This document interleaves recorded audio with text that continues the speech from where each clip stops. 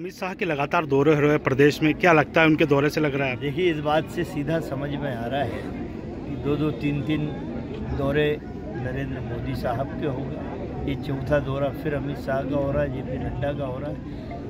भाजपा समझ गई है कि शिवराज चौहान के चेहरे पे भारतीय जनता पार्टी है चुनाव नहीं जीत पाएगी, ना सरकार बना पाएगी। इसलिए उन्होंने भूपेंद्र यादव, अश्विनी वैष्णव नरेंद्र तोमर को ला के बिठा दिया और ये स्पष्ट कर दिया कि शिवराज के कहने से कुछ नहीं होगा। जो भी निर्णय चुनाव तक होंगे, इन तीनों नेताओं के माध्यम से होंगे। ये चिंता उनको है कि मध्य प्रदेश में उनकी सरकार नहीं बन रही इसलिए अमित शाह बार बार आ सोशल मीडिया पर एक चर्चा है कि महाराज की घर वापसी होने वाली है। देखिए हम लोगों ने दिग्विजय सिंह जी और मैंने हमने तो संकल्प लिया कि जो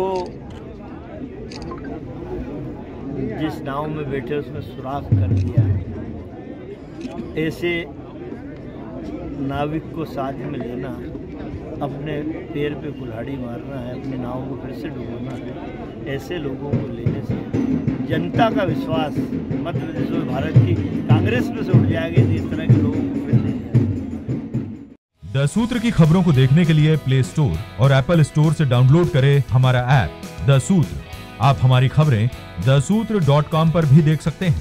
Social media platforms, Twitter, Facebook और इंस्टाग्राम पर भी हमें फॉलो कर सकते हैं। साथ ही यूट्यूब पर भी हमें सब्सक्राइब करें। यदि आपकी नहीं हो रही कोई सुनवाई और आपके पास है कोई खबर तो हमारे WhatsApp number seven double zero double zero two four one four one पर भेजिए और बनिए हमारे सूत्र।